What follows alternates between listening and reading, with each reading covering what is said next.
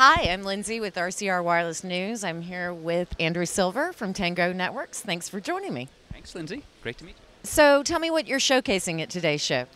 What we're showcasing today is the integration with several PBX systems. Uh, so we're starting with Cisco, Microsoft Lync, uh, Avaya. We basically enable any mobile phone to become an extension of the PBX system. And um, what trends are you seeing at the show, or just in general in the industry?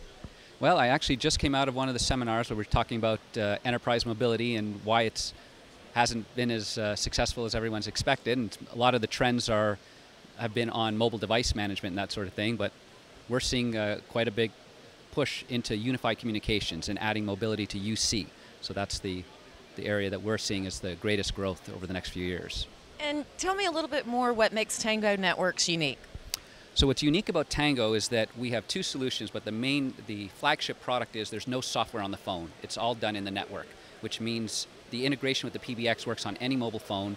It's enforceable. The call it can connect to both PBX and UC systems, but also mobile call recording platforms for compliance with Dodd-Frank.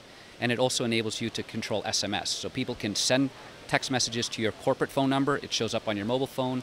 When you send messages back, it shows with your corporate identity, all controlled by your company. Well, thanks for your time. Have a good show. Thanks very much.